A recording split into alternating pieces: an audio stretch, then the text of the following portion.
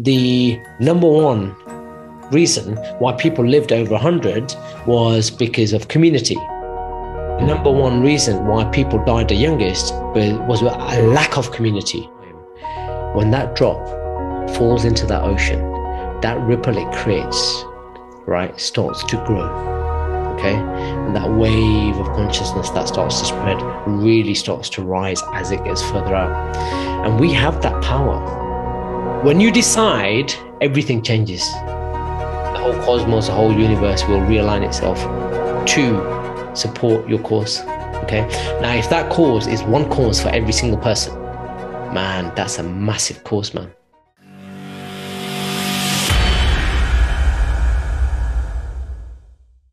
Welcome to another Martial Mind Power podcast. I'm Jatinder Palahar with Sifu Lak Loi, and we're going to be dropping some what were they called again? Wisdom bombs. That's it. Black, how you doing? How have things been for you this week? Good, man. All is all is good. All is good. And awesome. you? Awesome. How you been? Yep, it's yep, all, all good. I mean, we had our first uh, physical meetup with people for a dinner uh, this week, so that was a bit surreal, uh, but really interesting. Yeah. As I had to just adapt, so that was good. Yeah. How did you feel? It was um we were poking each other to see if we were real. and and we couldn't say to anybody, "You're on mute." Can't hear you. yeah, exactly. That's well, that's amazing. well, at least cool. uh, at least you're kind of reconnecting with people, and right. uh, you know that face to face man. What do you think That, you know how how does that difference between like being having that online presence and that online connection say via zoom sessions uh, versus being in person? How, i mean if you were to describe the difference what would you say? Oh it's been it's been interesting in the sense that um when you're in person you definitely you could feel it. You definitely end up using like different parts of your brain right? So having met up with people it was actually it actually felt really relaxing and really chilled out. It was like um yeah it's just like it, it just stress free it just that's why it's like you're reconnecting with that part of your brain. So it just felt um yeah it felt refreshing. It felt different you know? Um but yeah having that but but everybody was i think everybody's in the same space to actually connect with one another. Yeah. um so yeah the conversations were I think what happens with Zoom, having connect stayed connected with a lot of Zoom people on Zoom, and when we actually met in person, it didn't it didn't feel like we were missing each other. It just felt there was an extra depth to that conversation now, you know. So um, yeah, so that that's that's what has been the most interesting thing about it. I feel. Oh, wonderful! It must be for you as well, right? Going back to classes and teaching people. Yeah, it's amazing. Honestly, it's um the thing is is that um, when you're in person, you can um, I mean, when you're watching somebody over Zoom, uh, you can see um, a certain part of the body, right? So, you know, we're uh, recording over Zoom right now, and uh, by the time our viewers see this, you know, you're you, are you are seeing like from here to there, right? That's it, right? Mm-hmm. You can't see the rest of my body, you can't see that body language. Um, uh, and uh, when you're in person, the other thing that happens is uh, you, if you're if you're energetic body is sensory acute, then you pick up on that energy a lot more. Um, I mean, if you're if you're if your energetic body is tuned uh, well enough, uh, you mm. can pick that up over Zoom as well, or remotely. In other words, it doesn't matter where you are. Uh, but when you in close proximity, face to face with somebody, then it's inevitable right? And that's that's a mass makes a massive difference. Also, um, you know, you've got that, um, you know, the tactile um, uh, communication where you know, like you said, you were poking each other and uh, you know, to make sure each other, you know everyone's real. Um, you know, in martial arts, obviously, you know, the, one of the one of the biggest things has been hitting something like hitting focus pads, and uh, and uh, I think a, you know, everybody will attest to this uh, in classes. Said that you know uh, they really missed it, mm. and um, I, I I'd mentioned that you know the therapeutic therapeutic benefits of uh, uh, training, uh, having that force feedback on um, focus pads, kicking pads, which you know whatever you're using, even if a training partner is uh, invaluable, uh, and the effect that has on not only your personal well-being but also uh, um, also your cultivation of a martial art is um, is uh, is priceless. So mm. um, it's been wonderful training over Zoom and using that technology to train, uh, given the limitations that uh, the pandemic imposed on us. Um, and we really kind of uh, got really good at doing that really, really well. And mm. um, then uh, we've got our studio-based, you know, face-to-face classes. so what that's allowed us to do is it's given us uh, a fallback mechanism so we can always go back to online uh, classes if we need to because we've mastered that space now uh, and the studio classes you know have been running out at, at at uh, peak state anyway, right at top of the game mm-hmm. anyway. So it's wonderful. So it's it's kind of made us better, uh, made teachers better, made us students better, and uh, um, it's it's just been fantastic. But the the the the face to face, the contact, and so on is really we're human beings, and we need to remember Absolutely. one thing. You know, we are uh, we need other human beings to survive yeah. And um, uh, you know whether we whether we think it or not, it's uh, part of uh, our longevity. And the reason I say longevity, and I might have mentioned this before, at the at the end of 2019, uh, I read a study on um, uh, the areas in the world where people live the longest, and um, there was like the top um, top 10 reasons why people lived over 100 years. And during the same study, they decided, well, let's study the areas in the world where people uh, die the youngest and one of the top 10 reasons why they die the youngest. And the number one reason why people lived over 100 was because of community. Mm. The number one reason why people died the youngest was a lack of community. Wow. So, you know, those two things, right, are the, the same. Uh, and the key thing is an absence of it creates, um, leads to um, uh, an early death, essentially, right? Whereas mm-hmm. a presence of it, a healthy presence of it, will lead to longevity uh, and uh, a happier longevity because the community supports you. So um, that's that was it's funny that that, that study was just before the pandemic and uh, then the pandemic happened and then then everybody had their own insights and experiences and so on coming out at the other side of it uh, the realization is exactly that exactly what you experienced in uh, your at your dinner with your uh, group of friends um, and family and the same in my martial arts school uh, is community is number one. And uh, if you create a nurturing environment for your community, man, I mean, isn't that what we're here for? Is to support one another. And you know, just to add to that, there's um, um, you know p- people that have uh, suffered during the pandemic. You know, uh, they came. Some of them, you know, um, uh, sought my counsel and guidance on it and how to how to go through it. And uh, the best advice I could give them was um, to help somebody else. And when you help somebody else, what happens is it takes your focus away from you, right? And all of a sudden, now you're helping somebody else. You start to self heal because you're helping somebody else, and it's a bizarre uh, mechanism. But actually, we are when we live through servitude through our highest values um, uh, only our illnesses and ailments start to heal.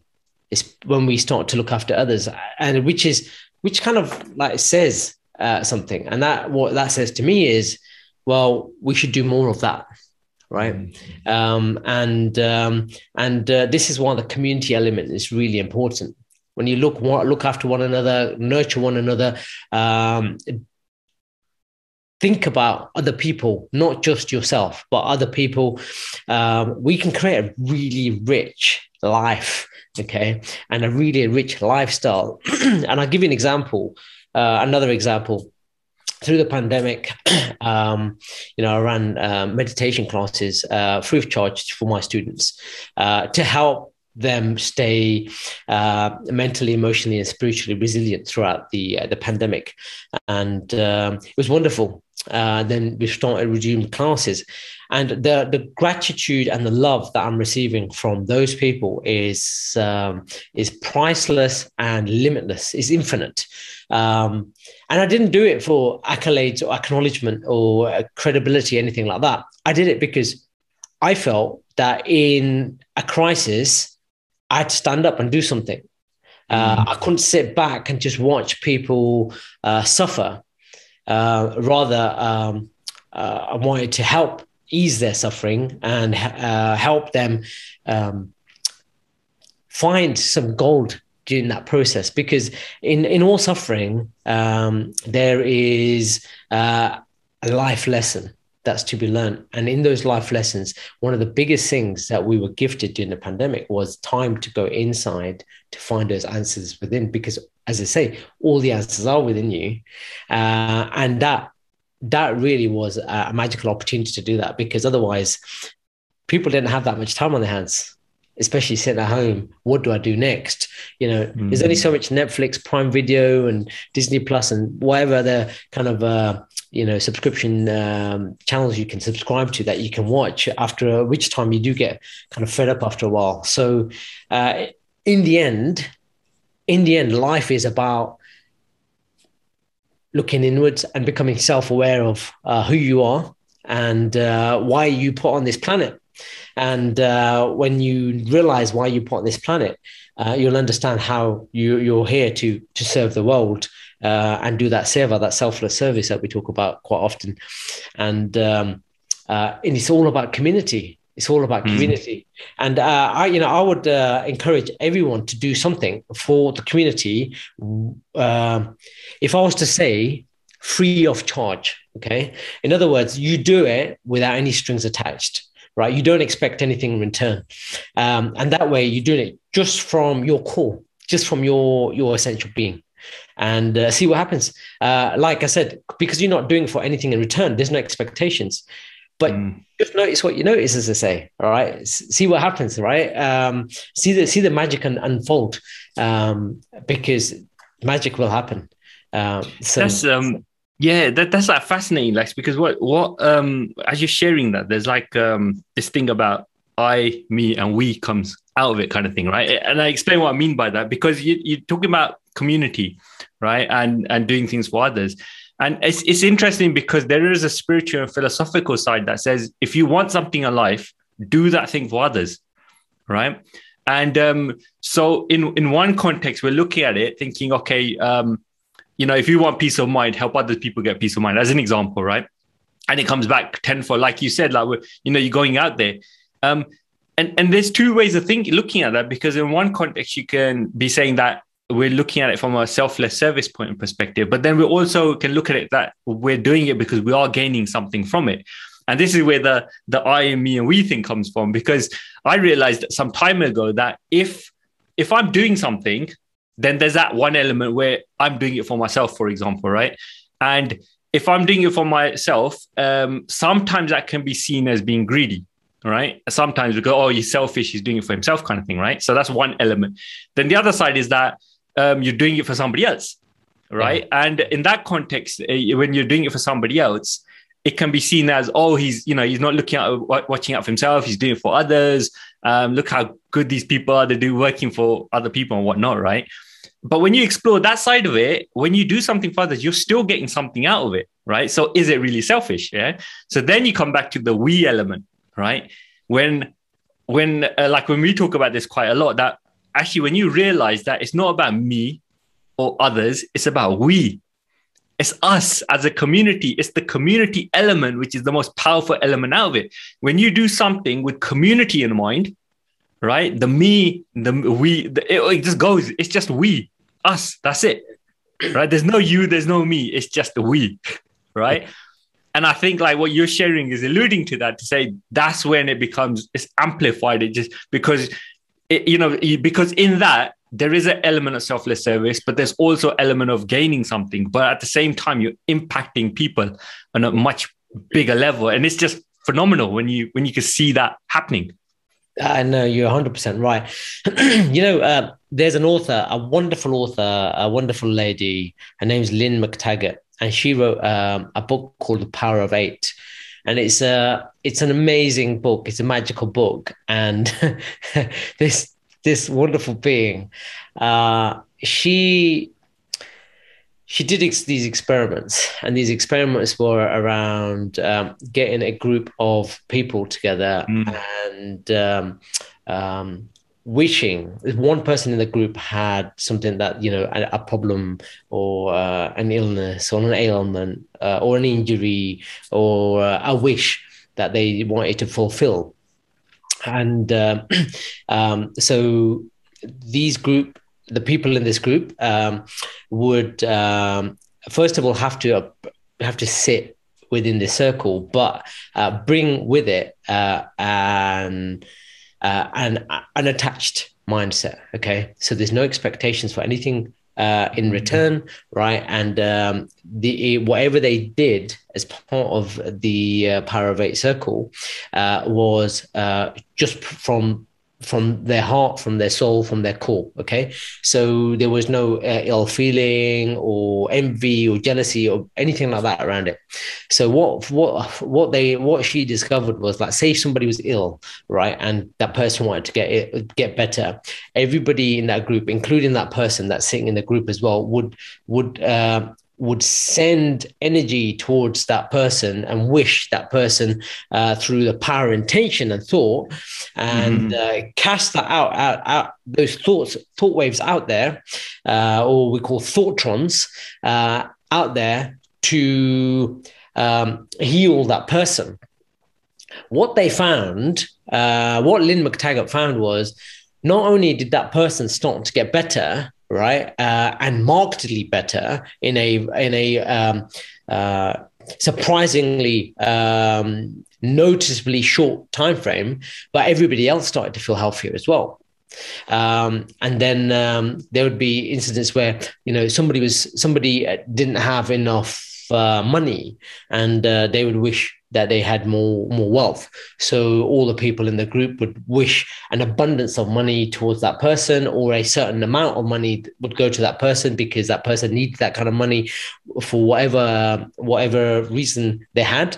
Um, and um, what everybody in the group found was not only did money fall into that person's lap, but also they also uh, uh, inherited or uh, mm. money came to them in some bizarre way. Okay, uh, so then what Lynne McTaggart started doing was um, she couldn't believe it, right? So she started experimenting with the size of the groups, and uh, she she she she she experimented with small number of groups, well less than eight, eight, and then bigger bigger numbers of group.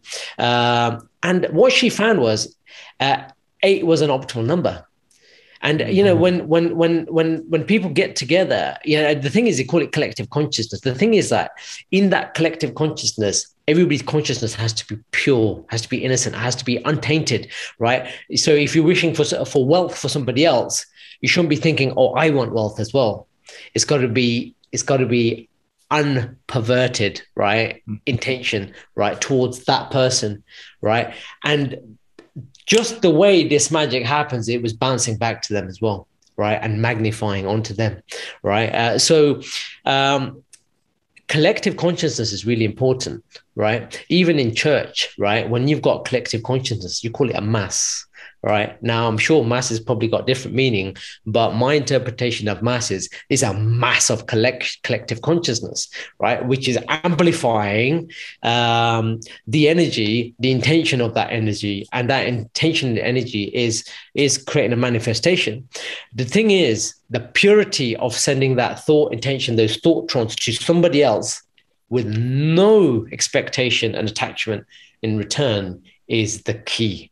All right. Uh, so even if you do something and you might be feeling, you know, you might be feeling a sense of gratification by doing some work, that's okay. But you're not doing it for the sense of gratification. That's just mm-hmm. what I call a side benefit of you doing the work. Um, so it's important to note that. And it's important to understand that selfless service has to be done selflessly. It has to be done without any strings attached, it has to be done with purity of intention. Um, like a child right? Like a child just playing, right? Innocently. That's how it's got to be done. And when you do it that way, uh, truly magic, magic piece. Now, Lynne McTaggart, she's been doing this for several decades and she's experimented again and again and again to try and convince herself what's going on. And the results are unanimous and the results speak for themselves. Um, there's been um, uh, times where she's done lectures and there's even YouTube videos on it, which is quite amazing, where there was a person that came in a wheelchair, and uh, the the person um, hadn't hadn't stood up for I think it was several weeks or months, uh, but every once in a while she would get up, but it really hurt. Uh, and what happened was the whole uh, the whole uh, group of people in the seminar, and there you know I, there must have been several tens of people there from um, from memory. Uh, so you imagine a seminar room full of people sending energy to this lady. I wish this lady can stand up and walk. Wish this lady can stand up and walk. And she gets up and she stands up for a prolonged period of time, right throughout the throughout the, uh, the throughout that seminar, uh, throughout that training course, um, uh, after after the uh, exercise, uh, which she, she hadn't done for months. Uh, so straight away, uh, she started to feel the benefits of it. Now, some people can say, "Oh, this is psychological," but if somebody's really feeling pain and all of a sudden, and they don't have the psychology, right, psychological strength to get up uh, in their pain and stand up for several minutes or however long uh, would be considered long for them. Um, and then they go to a seminar with all this collective conscious and an exercise which sends that intention and energy to that to that person right and all of a sudden she can get up and stand pain free for a prolonged period of time relatively speaking that's magic if you ask me mm. that's that's amazing actually because it's like it, it reminds me of um, um, I suppose it's similar in a way to the mastermind principle by Napoleon Hill, right? Where he talks about like you're saying, the mass, or you know, we, we often say sangat, which is all, also means the congregation of people gathering together, kind of thing. Yeah. And Napoleon Hill talks about the mastermind principle, which is he, I think he described it like a battery, isn't it? He said he got 1.5 volts, get two batteries, that's three volts. You know, yeah.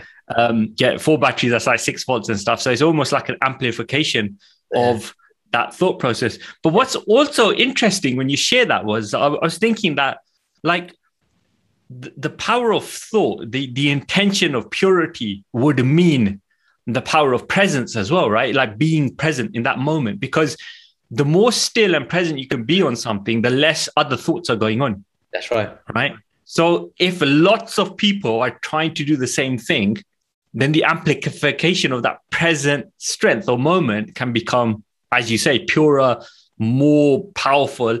Which why wouldn't it? How can it not then affect you know whatever's going on in that moment right? It's like you could compare it to the battlefield like we talk about martial arts. And you know um i remember the guy from aikido the guy who did, uh, created aikido he he once said thinking of the enemy as one i do battle right? And it's like um it, it, it's it's it, there's that many people, but he's thinking them all as one, and he's being present in that moment to be able to deal with that situation. Like I, I, I, don't know why that came in just thinking in regards to that, but it, it's in some weird way similar to that because it's like an opposite of that, but in the sense there's a, a lot of people, but he's being present and he's able to do something in that moment. Yeah. That there's only one enemy, right? Not many. And in the same context, if you take many people's thoughts and think about one element or aspect, yeah. then that's where the focus is. Like it's like a laser beam intensifying in that moment, right?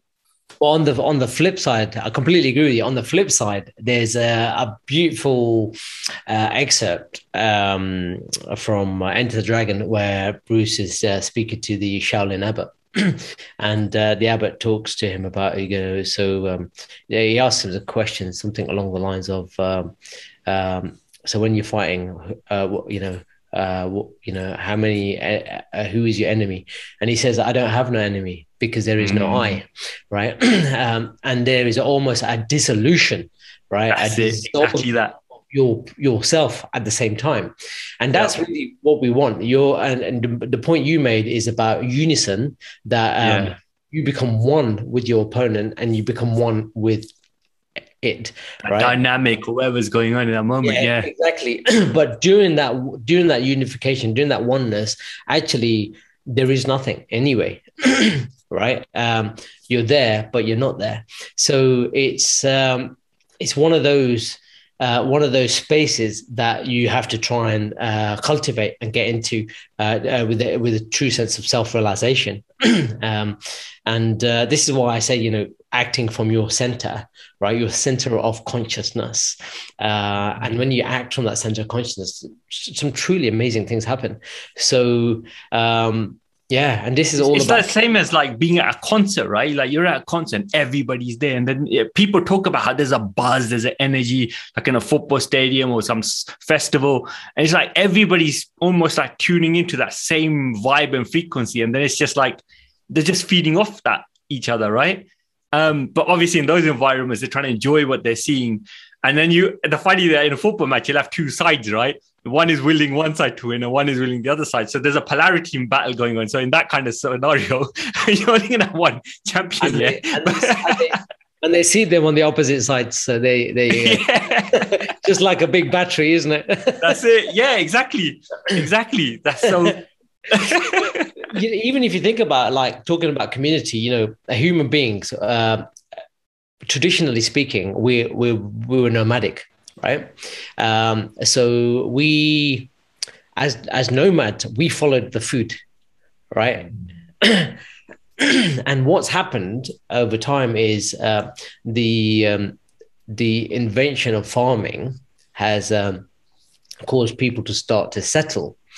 as people have started to settle around the resources, um, the production and supply of resources, um, more people have kind of congregated and created, you know, uh, hamlets to villages to towns and cities, right?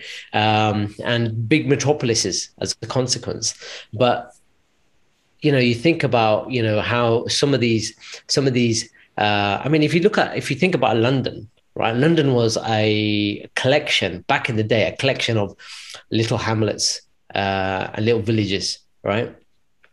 And those villages have kind of uh, attracted more and more people until those village village borders have just kind of met, right? Because they've grown and they've merged into it, and now you've got this one, you know, uh, big city, big metropolis that we know as London now, which originally started out as these little, t- tiny little settlements, right?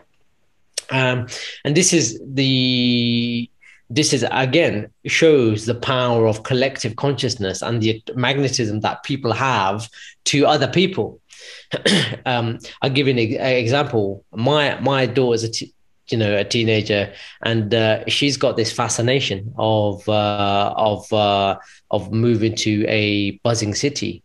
Uh, we we we live in the countryside. So it's quiet, it's open, it's airy. There's loads of greenery and so on. It's wonderful. Um, uh, but there's part of her that needs that, as you call it, that buzz. Yeah. Why? Because just being around a lot of people is healing, is satisfying. And um, I get it because I did the same. Right. I started off that way and then decided, okay, now I'll, I will withdraw myself to relax in a quiet place, but also go into the city to teach my martial arts, to be with people, to feel that buzz, because I also thrive off it. Right? Mm. We all thrive off it. It's important to all of us. I love it. Right? I'm not going to deny it. And my daughter's the same. She's exactly the same.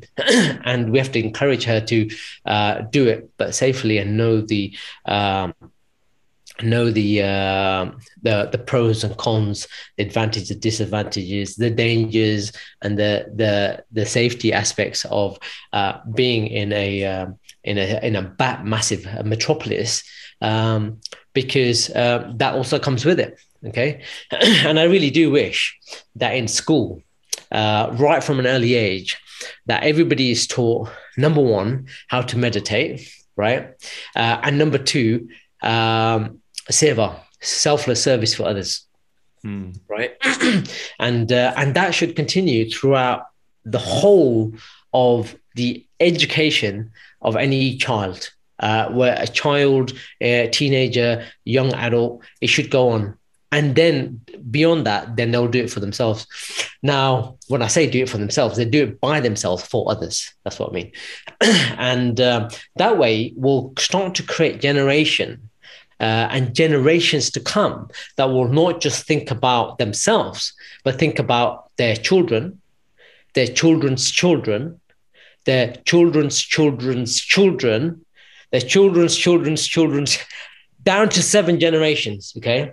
And this is coming down to the seven generations rule. It's the seventh generation rule, um, which um, some of the um, ancient native Indians uh, in from in America uh, used to practice. Uh, these um, uh, ancient wisdom practices that they apply to daily life. And it's magical. And i tell you how magical it is. But not only did they think about seven generations down but they also thought about the environment. So if they decided, and again, nomadic at the time, uh, where if they decided they were going to settle in a place, uh, they'd always have to be some kind of um, water source, right? So they could have clean water, some kind of spring or uh, glacier water, wherever wherever they might be, if they're north or south and uh, so they know where the water is. They'd uh, make sure that they don't pollute the water, right? So they wouldn't uh, defecate uh, and urinate in that water, so that it wouldn't uh, uh, pollute the water for other people and other animals further downstream. Um, they would make sure that um, when they um, if they made any changes to that landscape, they would restore it they they made sure they didn't divert water flows, right? They settled around the way the water flowed. Okay. Uh, in other words, allowing the water to carry its natural course and not affecting any livelihoods, uh, whether it's um, human or animal further downstream, right? Um, and that way, not having any negative impact on on anything from from their settlement onwards, right? Uh, and when they left, they would restore the place where they stayed in a better condition than when they arrived. Now, imagine if we started doing that, right? Wow. Uh, um, my my my son, he did. Uh, he's he's doing the Duke of Edinburgh Award, and as part of that, one of the things that he decided to do was litter picking. Now, let me give you an example, right? So uh, he'd uh, he'd ask uh, my wife, his mum, uh, or myself to come along. We'll go for a walk on a Sunday, and we'll pick up some litter around around around the area. And uh, um, you know, because of the pandemic, uh, people have been walking and so on around the country lanes and so on. every once in a while, you'll see you know a a beer can, all right, mainly beer cans and uh, dog poo bags, right? Just thrown into the bushes or whatever. and you just wonder, like, you know, these people that are in coming for walks in this area, they're coming because they like it, but they're coming because it's therapeutic, but yet they're they're they're ruining their own environment, right? But that aside, right? I mean, you know, please don't do that, right? Because you're just just ruining your own neighborhood or the neighborhood that you like to walk around in. You wouldn't like to walk around in a neighborhood full of dog poo bags and empty empty beer cans if they started accumulating because you just think there's a shitty area, wouldn't you? So don't do it, right? Mm. Why would you do it? You come to that area because it's a nice area, right? So so start to look after it and make your area nice, even if it is littered with all that crap, right? Clean it up and make it nice and keep it nice. Now, if all of us did that, it'd be amazing. Now, the other point I wanted to try and make was as we we're doing this, people noticed my son uh, and um, my wife and I were just walking and uh, you know picking up litter, and these are all in recyclable bags or just general uh, rubbish bags. And as we're doing this, people were genuinely proud of of the work that we were doing, mm. and but they weren't doing it themselves. and um, um, and this is a whole kind of like you know spectrum of uh, people from different backgrounds different ages different gender everything right and um, there was just an innate recognition of the goodness in the work now you don't have to have a degree to do that just go and do it right? Anyone can pick up a bin bag and uh, you know um, one of those rods with a with a grab handle on the end, right? And and pick up pick up litter. Doesn't take a lot. Um, and on top of that, don't throw the stuff out into the street in the first place. And uh, you know, I think innately, as human beings, you know. Um, when you respect Mother Earth, when you respect Mother Nature, people recognize that. They recognize our ultimate mother. They recognize our ultimate source. They recognize you know that we're part of her. And when you start to nurture her when you start to take care of her uh, we know. We know. And there's nobody that doesn't recognize that. There's nobody mm-hmm. on the planet earth that doesn't recognize the good in doing that for yourself and for others and for mother earth. Now why don't we do it? You just need to like you know like whether you you know having breakfast or lunch or dinner you schedule that in. Just schedule maybe once a week just to clean your drive or clean your road or you know just uh, clean up the pavement outside your house you know or something simple as that. Just notice if everyone did that everyone's pavement outside the house would be so tidy and clean right that the whole street would be clean right because everyone's just taking care of a little bit, right? And not contributing any garbage to it. Um, and collectively, we start to make our environment, our neighborhood nicer, right? Mm. And we like start to enjoy living there. Um, which leads me to another little um, uh, study that were that's there's numerous studies on this, right? And what what happened was this is um, this was a study about uh, psychological behavior of people that lived in uh, poor, deprived neighborhoods. And that they found that, you know, they would litter, they would graffiti. Uh, and when I say they, some members of that community. Um, and uh, in general, there wasn't there was a disregard for the environment. But when you take that a person from a deprived, uh, dilapidated neighborhood and put them into an affluent neighborhood, what they found was their behavior completely changed. Mm. What they found was they didn't litter, they didn't they didn't uh, deface uh, buildings and uh, objects and ornaments and uh, other people's property. Right? They actually started looking after it. They started becoming proud of their environment, uh, and they started to nurture it by not contributing garbage to it. In fact, keeping it tidier. Right? Um, so all of a sudden, uh, that study uh, started to bring to light actually uh, your environment is uh, has a massive psychological impact on your behavior right? Mm. a deprived de- dilapidated uh, defaced environment right brings the ugliness out of people right in their behavior right? And that starts to be expressed outwards into that environment. Put them into a nice neighborhood then the nice the beautiful side comes out. Now you can take an environment that's been, let's just say, word it as uglified, right? And you could beautify it. All of a sudden, this neighborhood starts to become like this neighborhood. All right, the buildings are not the same and uh, might not be as affluent, but you can still make it nice, right? You can still make it nice, and that's what we're saying that um, that as a community, as a collective consciousness, you can change a vibe but do it together. And here's the thing the biggest, the biggest trap here is is somebody else's problem. I didn't do that. Let somebody else do it.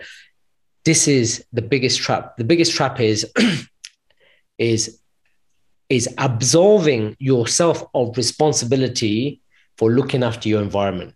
Okay looking after other people right in fact if you took charge and took responsibility and ownership for doing one thing right then all of a sudden other people start to look at you and think hold on a minute well maybe i'll join in all right? mm-hmm. and then you start that this ripple of consciousness um, and higher state of consciousness starts to spread right and more people join in and all of a sudden you start to beautify a previously ugly environment, right? And it starts to become a nice place to be, and the behaviors change, and the and the people's mindsets change, and people start to become more loving and kind and compassionate to one another. Now, uh, you know, often I've been called um, an idealist or an optimist. Now, the thing is, you have to be an optimist, you have to be an idealist in order to make positive change in the world, because if you focus on the ugliness, you're just going to expand uh, ugliness but if you focus on the beauty, you you can you can see ways of applying that beauty to everything. Now that's what we need. I think that's what we need. Uh, and uh, uh, I'm going to carry on singing to that tune um, until my last breath in this lifetime. And uh, I hope you know it will help people to kind of reposition and refocus their minds into a, um, a way that is um, more constructive and this brings us back to martial arts. Okay, we talked about this uh, uh, how you know martial art. There's two aspects to martial art. You got martial and you got art. Martial is the destructive, the hurtful uh, side of uh, martial arts. The art side of it is the constructive, the healing side of, of martial arts. Now, you, you shouldn't really have one without the other. You shouldn't be just going out there destroying stuff if you don't how to to to uh, to rebuild it to to mend it. Okay, so you need to understand both so that you you have uh, a wholesome way of life. Okay, because ultimately martial art is a way of life, and this is what we're trying to say is that look, well, if you're put in harm's way, then you might have to incapacitate an opponent right? But ideally, right, try and heal them because there's healing that needs to be done there, right? You can hurt them and exaggerate their hurt, uh, or you can heal them and collapse it and uh, nullify it all, right? Dissolve the problem. and uh, uh, really, martial arts is about healing, is about construction and creativity. Uh, and we need to start looking at looking at the problems uh, in in with our communities, uh, with the environments that our communities are in, um, in a in a creative way, in a holistic way, uh, not looking at the problems uh, in the same way uh, that we have been previously, but looking at them differently um, um, with uh, essentially what outcome do you want at the end of that, right? Stop focusing on the actual problem itself. Start focusing on if you took this, what do you want it to be like? You know, if you took a dilapidated neighborhood, actually, what do you want it to be like? Well, I want it to be like this. I want it to be nice. I want it to be safe. I want it to be clean, right? I don't want it there to be litter all over the place and walls defaced and so on, right? Then how could you do that? well, maybe some of these walls could become murals and you could get the the uh, the artists, and I, I use the word artist because um, the people that are expressing themselves through art and graffiti or whatever, they're artists. A lot of them are amazing artists. So the idea is give them some space to do it constructively, right, and create something that is beautiful, right. Tidy up that environment. Now all of a sudden, people are people feel feel a sense of ownership in that area, a sense of responsibility, a sense of nurturing uh, of their environment, and um, and one another. So uh, let's give it a shot, guys. I mean, what have you got to lose? Uh, nothing. Hey. You have got nothing to lose. This is the thing.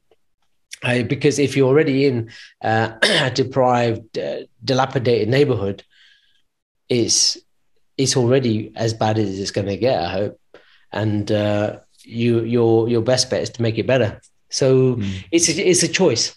Now people say it might say, all right, well, it's going to cost money. Where am I going to get the money from? Uh, there, in some councils, they have uh, regeneration uh, funds Uh, there's um, uh, grants and subsidies that uh, you can apply for. You can speak to your local councils to try and um, uh, um, get given a grant. Uh, speak to your local parishes, speak to your local MPs, right, to try and uh, do that. But again, there has to be somebody that's got a sense of leadership, uh, within that community that's going to spearhead that and uh, talk on behalf of um, the community in a responsible, conscious way. Uh, so you have that option, but you just need somebody that's got the will to do it. Isn't um, isn't that amazing though? Because like what you're saying, you know, leadership comes from self leadership. It's when you start to take charge of things around you. And like you said, you know, you guys went there, you start picking up the litter, everybody else started looking, thinking, oh, it's okay to do that. Maybe we should do that, right? It's almost like your your actions give permission to other people to be able to do the same thing for you know and you know that's that's how communities are built up one person's actions you know like michael knight was right yeah? They said one man can make a difference yeah? And you know so yeah, it's leadership comes from self leadership right? Taking charge of yourself your environment things around you and just keep building on that, right? Because, like you were saying, you build on that, then all of a sudden you're influencing other people around you. Now that community starts to build, you might influence 100 people, 200 people, 300, we don't know. And that just community element just goes bigger. It's fascinating. Like, I mean, you know, we're talking about the power of community and the power of actually, it's, it's all about people. It's just not whatever we're doing, we're in this life. The most important thing seems to me people, right? Because people are the ones influencing the environment, all these kind of things, and whatever's going on in the world.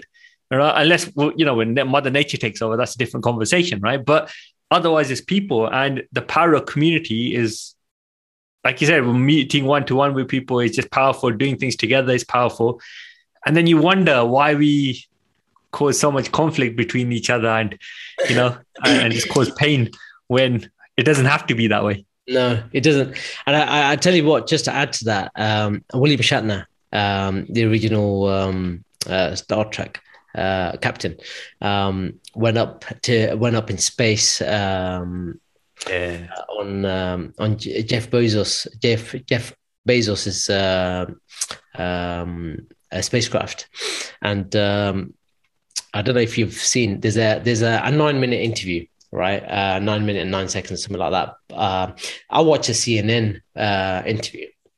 Yeah, it was really touching. Have you seen it, by the way? Yeah, I have. I have. Yeah, it's really touching. and I think uh, I sent it to you, Lak. Uh, I know. I shared it in the space, and then it came across our profile somehow. Doesn't uh, matter. uh, here's the here's here's the thing, right? Here's the thing. The he came back uh, back to Mother Earth, and um, he was just in tears. And mm. uh, he was very grateful to uh, Jeff Bezos for, um, uh, and he's 90 years old, right? So he's the oldest man that's been in space. Uh, and uh, he came back and he was he was really grateful to Jeff Bezos. He was crying, and he said, "I'm overwhelmed with emotion." And uh, in a nutshell, he said uh, it came down to this, right? He said, You look into space, right? It's just pitch black and it's just it feels like it's cold and it feels like death. Okay. And then he said he turned his gaze to this wonderful, glowing blue marble of a planet that we call Mother Earth. And he felt love, overwhelming sense of love, an mm-hmm. overwhelming uh, sense of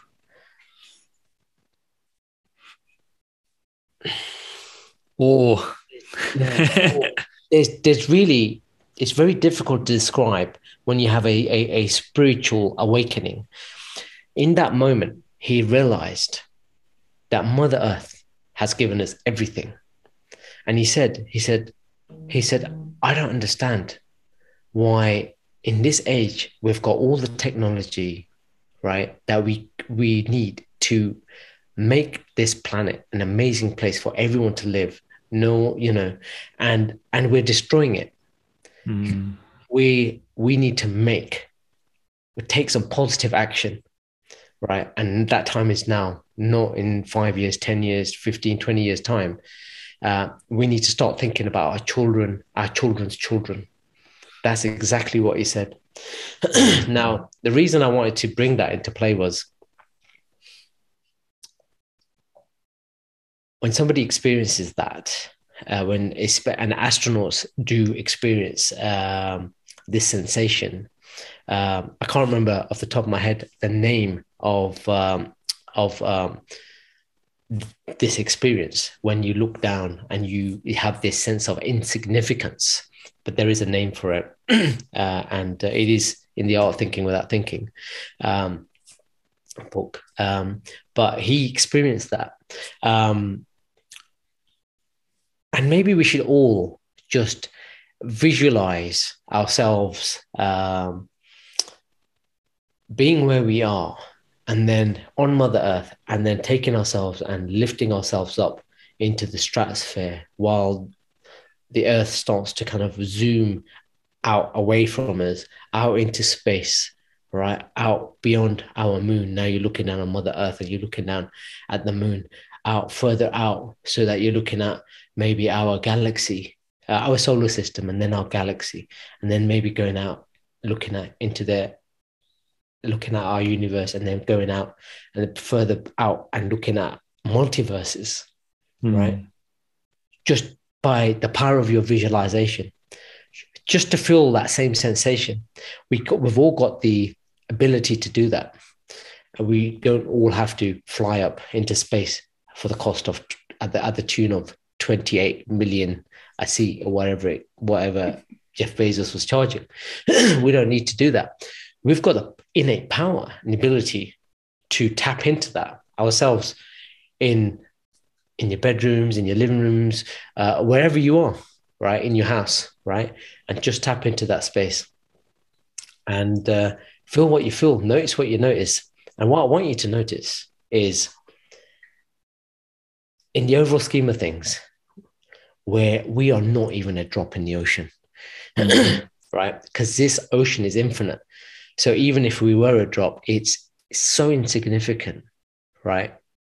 At the same time, when that drop falls into that ocean, that ripple it creates, right, starts to grow.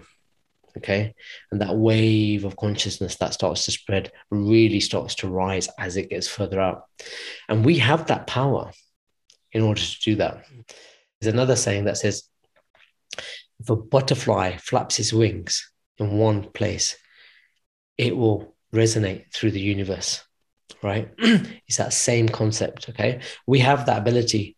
So why don't we? While we're living on Mother Earth, enjoying this physical domain, in this uh, existence and journey that we call life, why don't we do something uh, beyond ourselves for other people and for Mother Earth uh, and give back?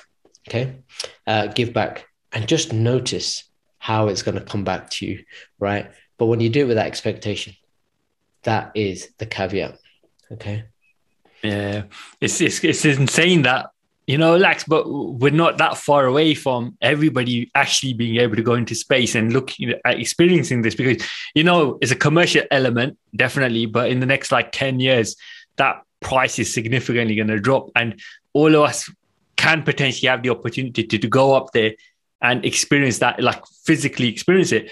But you're so right in the sense that, you know, with the power of visualization and just even looking out into space, you know, looking at and seeing Jupiter, just imagine instead of looking at Jupiter or Pluto or where these planets are, that's Mother Earth in that distance far away from you. We could be on Mars looking back one day, right? And yeah. look at that. We've gone from the individual being locked down in our homes to meeting up with the commu- uh, meeting up with friends and family to building a community and going into space and traveling, right? I yeah. think that's what Elon Musk is all about, right? well, uh, I've just looked up the name of that uh, that the um, uh, psychological uh, effect that uh, astronauts experience, and it's called, funnily enough, the overview effect. and uh, this is the wiki wiki Wikipedia explanation on this. The overview, the overview effect is a cognitive shift uh, in awareness reported by some astronauts during spaceflight, often while viewing the Earth from outer space, is the experience of seeing firsthand the reality of the Earth in space, which is immediately understood to be a tiny, fragile ball of life hanging in the void, shielded and nourished by a paper thin atmosphere. From space, national boundaries vanish, the conflicts that divide people become less important. Wow. Yeah. Wow. That gave me goosebumps listening to that. Yeah. Yeah. So, boundaries. Oh, there's no boundaries. Yeah. Think about that, man. That's a that's a deep one. Yeah. So you know, I think I think it's time to kind of uh, shed that old snakeskin and uh, um, start to start to uh, start afresh. Um, and um, that moment is whenever you decide, right? You just Mhm. need to make a decision because that change starts with you. Um, when you take responsibility and ownership for all the shit that's happened in your life, right? Right. Uh, for all the, if you wanted to put it one another way, all the good stuff and all the bad stuff that you've ever experienced, when you take ownership and responsibility for that, that moment, you can then make, uh, in the awareness, make an informed decision about where you want to go, what you want to do, what you want to achieve, what outcome you want to see in the world. Okay. When you decide, everything changes. Mm. The whole cosmos, the whole universe will realign itself to support your cause. Okay. Now, if that cause is one cause for every single person, man, that's a massive cause, man. And isn't that it? you know, we're as human beings, funny enough, looking for another planet to continue our existence. I mean, on this planet, if if you know we were to look at this planet, right, uh, in in Texas, for instance, right, they have a um, they have a, a, a in a specific time of the year in a uh, in a in a certain season, they have locusts right fly across Texas and they annihilate all crops. Okay. Hmm. Now, are human beings any different? Mm. except they've done it across the whole world, right? Now, if we want to change the way we are perceived as parasites on this planet, right, and change that to actually be become like you know the friendly bacteria of the gut, where we or the friendly bacteria of the planet, where we're actually creating the planet to flourish and flower, uh, so that we can enjoy uh, the fragrance and the beauty of wonderful wonderful flowers and the sight of wonderful gardens, right? Um, that we've sowed here, right? Sticking with the garden theme, right? Then uh, um, we can really create a beautiful space, right? And that space is everywhere, right? So we we have to get rid of the attachments to our personal wants and desires, right? And work f- for the collective. And that collective is outside of ourselves. It's everyone. Like you said, I, me, we, right? Mm. So um, it's a it's a powerful uh, cognitive shift. Let's take that overview effect. Let's take William Shatner's uh, experience to inform and advise us on how how to move forwards. I mean, I won't be surprised if William Shatner still still tearful. I tell you, right, when you have an experience like that, when you have a spiritual awakening like that, it doesn't leave you. Uh, there's a there's a writing in the art of thinking without thinking that says, you know, once you have once you have you can't unsee the scene. Mm. And that's the whole point. He will never unsee that. and now for the rest of his existence on Mother Earth, he will be sharing that. And he has done so many media interviews now, so many media interviews that uh, he's it, uh, it's hopefully you know putting a positive imprint in people's uh, bodies, their uh, their hearts, their minds, their souls and spirits, right? To uh, shift not just a cognitive shift, not just a uh, an emotional shift, but a spiritual shift. Okay, that's what we need, right? And that's it's happening. It's happening, right? So the closer we get to space, uh, what we'll realize is actually we were exactly where we where we were supposed to be, um, and uh, you know maybe we turn things around here and uh, do something wonderful. But more, and most importantly of all, leave Mother Earth in a better condition than when we arrived, uh, and if not, start to move towards creating that so that our our children have a chance and their children have a chance and their children's children have a chance and so on at least seven generations down if we look that far ahead you know what it'll be wonderful honestly Mm. it'll be amazing for everyone and uh, Absolutely. and and you know on top of that just as a final comment yeah, my children's generation now are saying my generation and the generation before did fuck all for them. Now that is a fucking shame right? That is a shame. Now i we you and me brother we're doing this work. Why? Because we want to change this shit. I, I don't want that on me. We're we're, we're ta- taking conscious action to create conscious shift to Mm. restore mend that and make it better right? But i can't just do it on my own. I, I, you and me will do what we can to spread this word. But if these words touch the listeners and the viewers then go do something man. Just something small. Absolutely. just do something right? Go help out a soup kitchen if that's that's what it takes you know go give a homeless person a, a blanket clean blanket you know whatever it is you know. Um, the other day i saw um, um, a short video of uh, a cafe sh- a cafe shop in uh, in the us where um, people would pay it forward. And it's a beautiful thing this whole pay it forward thing right? So basically if if the listeners and viewers don't know what it is uh, if you've got if you've got um, you know surplus cash you could go into the, uh, these kind of cafes and um, you could say pay forwards ten dollars right? So you give the the uh, coffee shop uh, ten dollars or ten pounds right? And they'll write on a post-it note 10 pounds given by so and so on this date they'll stick it on the wall.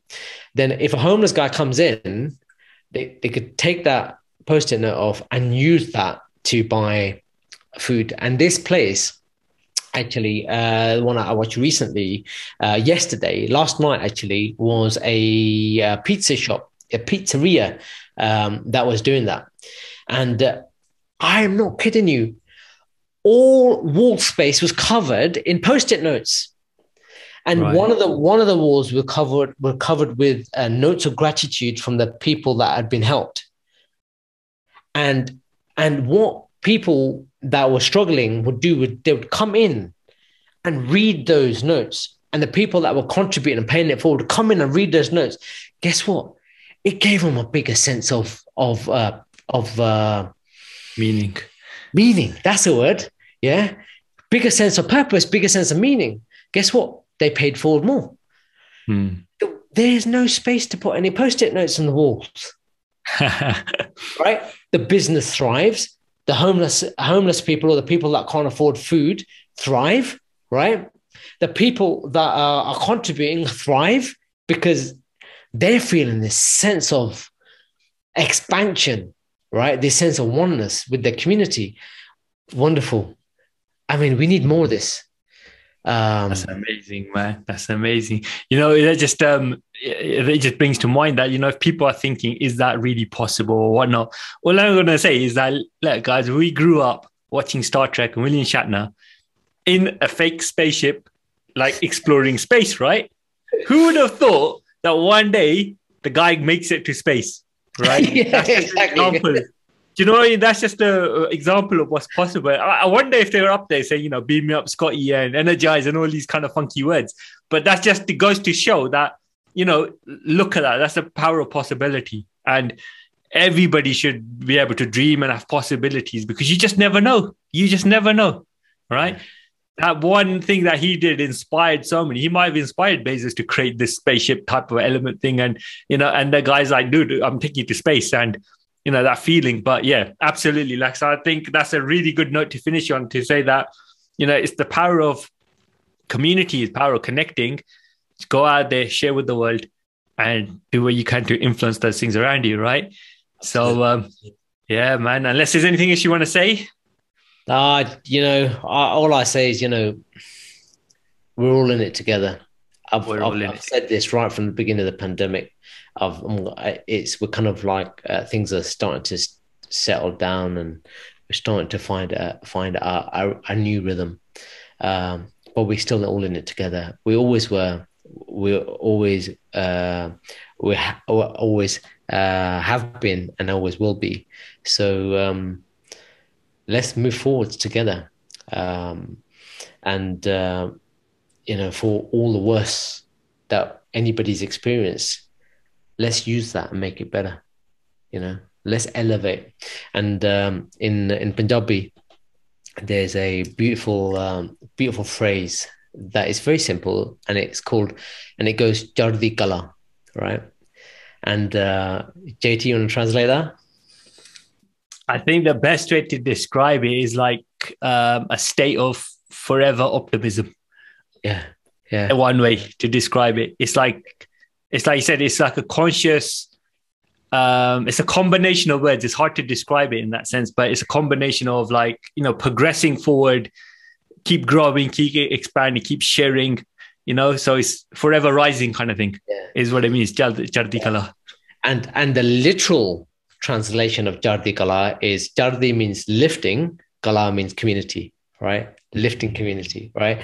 So you know this is this is um, a phrase that uh, Punjabis would use um, um, to lift one another, uh, and usually as a greeting and as a goodbye, right? Mm-hmm. As an affirmation, we are lifting, we are lifting. Okay, uh, so if we can take that but apply it uh, into practice and actually start doing it, um, you know, we are going to be a Chardi Kala. We are going to be an uplifted community, right? A global community. Uh, so let's do it, guys. Uh, start local, then go national, then go international, right? It, lifting, lifting, lifting, and that's you know uh, the most magical thing that could uh, that could happen if we could start seeing these positive effects within my lifetime, that'd be amazing. But I don't, ex- mm-hmm. You know, I'm not going to say I don't expect it, but just one last thing. Uh, they say that, you know, uh, the person that grows the, that, that um, sows the seed of a tree under, under whose branches he knows that he will never sit under is really the essence of this podcast. Wow. There, there you go, folks. That's just amazing. You know, at the end, we are the universe. You know, we make we're making up all of us together in it. As like I said, we're all in it together. So on that note, folks, uh, thank you very much, Sifu Lak Loi. Thank you, everyone. And until next time, signing out.